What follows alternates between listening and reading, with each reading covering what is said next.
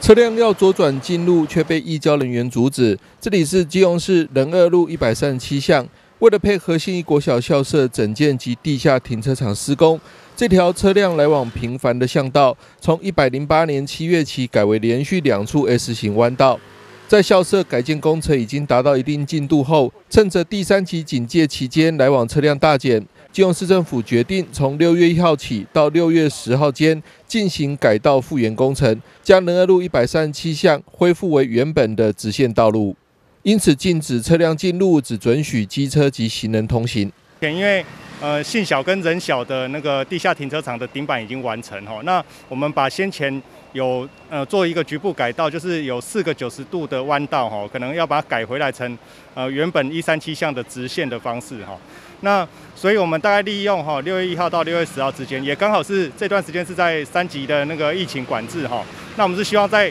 三级的解封之前，把整个一三七巷的道路哈复原成原本的直线。哦，那管制的这段时间里面哈，我们是只让呃行人跟机车通行。那汽车的部分哈，就可能麻烦驾驶人哈，呃能够稍微绕一下路哈。那让我们尽快把工程来做一个完成。好，那机车跟行人的部分，哈，机车行经那个改道的范围的时候，哈，也麻烦减速慢行。那行人的部分，就原则上一样是走我们呃目前计设的一个临时性的人行通道，哦，这个部分来做使用。好，那施工期间，哈，就麻烦呃各位市民朋友，哈，来协助配合一下，哈，那我们会现场会有一些移交人员来做指挥。施工期间，基隆市政府方面建议南向汽车改道爱一路，北向汽车则改道爱三路，呼吁驾驶人配合交管人员指挥改道行驶。